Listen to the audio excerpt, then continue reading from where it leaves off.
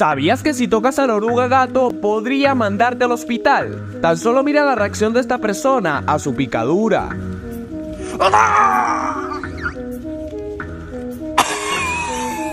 A pesar de que pueda parecer adorable, jamás se te ocurra acariciarlo. La realidad es que este animal contiene en su pelaje una toxina bastante venenosa. Y cuando te digo venenosa, es que ni siquiera el coyote Peterson se atrevió a probar su dolor.